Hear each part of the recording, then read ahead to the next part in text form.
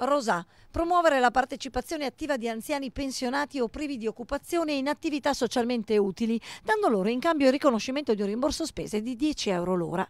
È il nuovo progetto civile varato dal comune di Rosà che nell'iniziativa ha investito 10.000 euro del bilancio comunale.